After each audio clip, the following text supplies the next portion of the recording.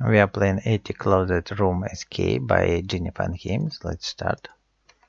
And here's the first hint. It's uh, lines. So we need to count them 2, 6, 2, and 4. And this is the hint to use here 2, 6, 4.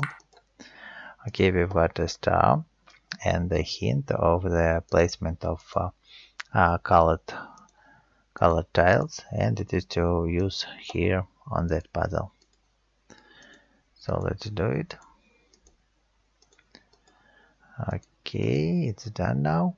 And we have um, the second star and uh, 3 to 4 it's the hint of dots we need to use here. 3 to 4 uh, here we have a broom now. And we can wipe this dust here. And here we have got the hint uh, red white yellow. And uh, this is the hint for the squares red white yellow. So he's uh, on an octagon and uh, a place to put this octagon.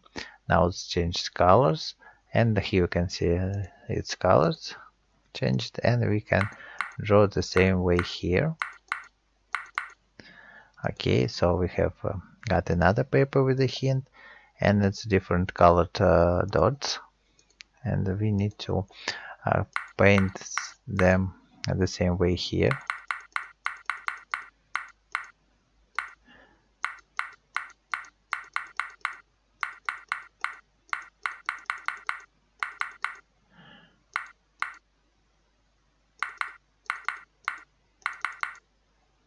so here's the hint 687 and we can enter it here. 687 so here's a circle. And we can put the circle here to that place. So we have got another paper with the hint but it's too small. We need to find the magnifying glass and it is here under this carpet. So now let's look at this hint and it's a cube with different colored sides. Uh, let's remember them. So top is yellow left side is blue and right is pink.